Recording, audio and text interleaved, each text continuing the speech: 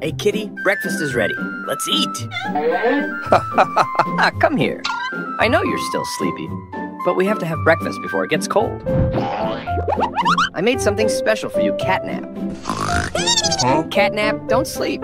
You don't have to hold me like this. It's so you don't run away from bath time. I love you.